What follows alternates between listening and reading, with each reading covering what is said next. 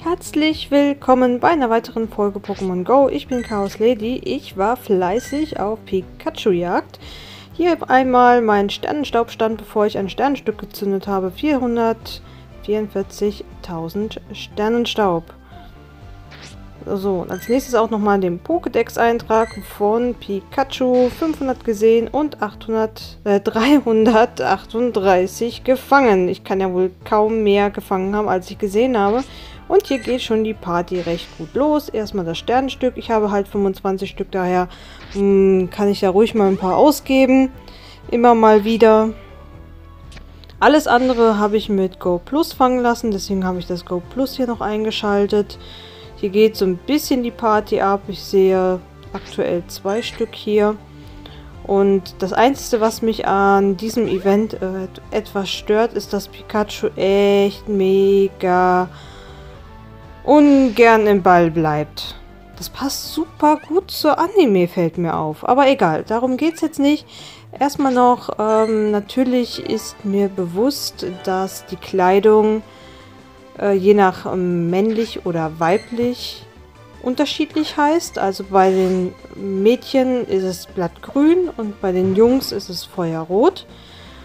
Und ja, die Kleidung heißt einfach nach den Editionen feuerrotes Oberteil. Bedeutet nicht gleichzeitig die Farbe. Das ist mir schon bewusst. Es war trotzdem witzig.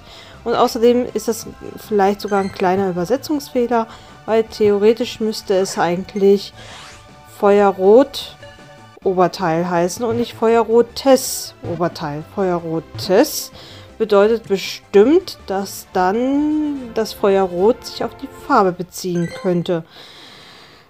Übersetzungsfehler, meine ich. Wenn ich falsch liege, tut es mir leid. Äh, habe ich, ich habe natürlich nicht vor, äh, Quatsch zu erzählen. Und dann ist noch aufgefallen, oder mir ist aufgefallen, euch ist aufgefallen, ist ja auch nicht äh, so schlimm, aber dennoch muss ich das natürlich dringend erwähnen, dass das ähm, Event von Bisasam, also das, das, äh, das, nächst, das nächste Community Day Event, findet ja am 25. März statt. Das Interessante ist, dass es diesmal gar nicht an einem Samstag stattfindet, sondern an einem Sonntag. Und es stand ja dabei, dass es die mitteleuropäische Sommerzeit ist. Und da wir zu dem Zeitpunkt, wo das Event stattfindet, Sommerzeit haben, muss es wohl doch zur selben Uhrzeit stattfinden. Das heißt, es bleibt dabei von 11 bis 14 Uhr. Und nicht fälschlicherweise von mir gedacht, dass es von 12 bis 15 Uhr stattfindet. Na gut, dann ist es so. Ich hätte, äh, ich hatte ähm, automatisch schon wieder weitergedacht, aber Niantic wird ja mittlerweile etwas schlauer, dass sie uns die Uhrzeiten tatsächlich zum Teil für das jeweilige, für den jeweiligen Kontinent korrekt anzeigt. Quasi. Naja gibt ja schließlich auch andere Orte in Mitteleuropa, in Mitteleuropa, die eine andere Zeitzone haben. Von daher müssen die ja auch wieder umrechnen, vielleicht. Als nächstes gab es einen Kommentar zum Thema Kleidung. Ich könnte mir ja mal andere Kleidung zulegen, aber ja, also ich weiß nicht, meine hart verdienten Münzen in Kleidung zu stecken, ist absolut gegen meine, gegen mein Spielprinzip. Ich habe nicht mal den Beutel auf Max. Ich habe den Itembeutel nicht auf Max, glaube ich doch. 1300, ja, nee, habe ich nicht auf Max. Und deswegen wollte ich eigentlich eher ungern meine Münzen in die Kleidung investieren, zumal ich mich da eh nicht entscheiden kann, was ich da so tolles aussuchen soll. Und dann gibt es gewisse, natürlich, es gibt dann so ein paar Kleidungsstücke, wo ich sage, die möchte ich gar nicht anziehen, weil sie jeder anhat. Das kommt dann auch noch dazu. Deswegen, ich, mir gefällt das, was ich anhabe und tut mir leid, wenn ich das jetzt nicht einfach mal eben wechsle und mir irgendwelche Kleidung kaufe. Wenn ihr unbedingt wollt, dass ich irgendwas Bestimmtes anziehe, könnt ihr mir gerne dafür Geld spenden und das äh, zu eurem Beitrag, äh, zu eurem ähm, zu eurer Spende dazu schreiben, wofür es ist und dann werde ich das auch dementsprechend auch so nutzen. Das ist überhaupt kein Problem. Das kann man alles machen. Ihr könnt einfach tätig werden und euch was wünschen. Zum Beispiel. Muss nicht sein. Nicht, es zwingt euch keiner zu irgendetwas. Ja, Pikachus schl ähm, gehen schlüpfen. Schlüpfen? Nein, äh, flüchten auch gerne. Aber so ist das leider. Und ich bin echt gespannt, ob ich es diesmal vielleicht schaffe, aus einem 2 Kilometer einen Pichu zu bekommen. Bisher habe ich leider noch keins bekommen. Ach, das Wichtigste kommt ja erst noch. Und zwar, dass dieses, dieses Mal ist das tatsächlich so, dass das Pikachu mit Hut tatsächlich in Shiny-Form gibt. Ich dachte, ich bin, allen, ich bin aus allen Wolken gefallen, als es nicht, es äh, als die ersten Screenshots äh, rumgeschickt worden sind, dass es tatsächlich Shiny Pikachu mit Hut gibt. Das war jetzt die ganze Zeit nicht der Fall.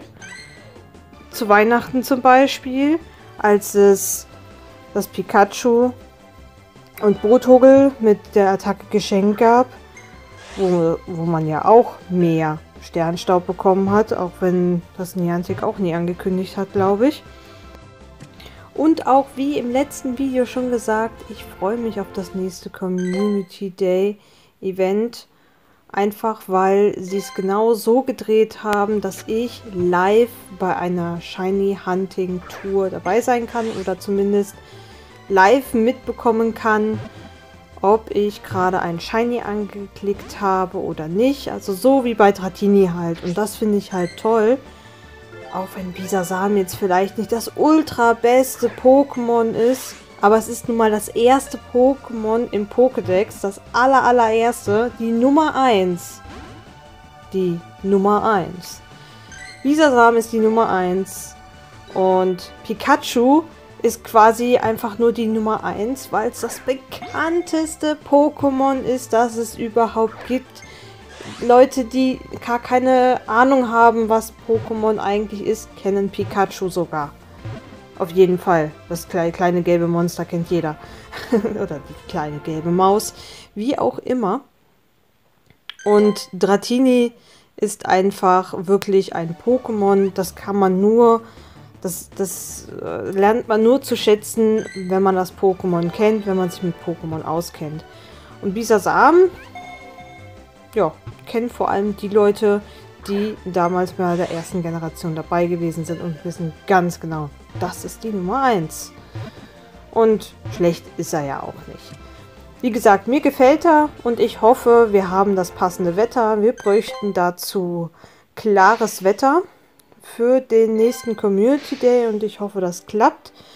Ich fand es ja super, dass es bei uns drei Stunden lang windig war da hatten wir definitiv den Jackpot. Das hatte nicht jeder. Ich habe schon einige und auch einige Kommentare gelesen. Äh, bei den anderen YouTubern auf den Videos sieht man auch, dass es nicht ständig windig war. Also von daher ist es richtig nice, was ich erlebt, hab, erlebt habe. Und das gibt noch mal so ein kleines bisschen mehr ähm, geiles Gefühl für dieses Event. Definitiv. Ähm, auch wenn einfach Dratini ziemlich häufig, relativ, ähm, also relativ im Sinne von, ja, kann ja sein, dass die Leute, die in Nestern unterwegs waren, irgendwie mehr Erfolg hatten. Bei uns in Offenburg war das irgendwie komisch. Am Zwingerpark haben viele gesagt, ja, war nicht so nice. Es war dann doch besser an den Lokmodulen oder in der Innenstadt, weil da einfach die Spawnpunkte die Spawn einfach viel höher waren als an anderen Stellen. Aktuell ist ja das Wetter bei uns, zumindest in vielen Teilen von Deutschland, richtig knackig kalt. Bei uns ist es aber aktuell sogar so, dass es die ganze Zeit klar ist. Also bei uns scheint quasi jeden Tag den ganzen Tag die Sonne. aber es ist mega kalt. Diese 30 Minuten mit Sternenstück waren eine echte Qual. Also manche Fingerspitzen sind so kalt gewesen, dass ich mir echt überlegt habe, Mist, was machst du denn jetzt, wenn dir hier der Finger wegfriert? Also es war schon sehr schmerzhafte Erfahrung. Dennoch hat es wohl irgendwie geklappt. Hier sind die 30 Minuten gerade um. Und ich werde nochmal den Pokédex-Eintrag ein, äh, einblenden. Und es sind 523 gesehen und 359 gefangen.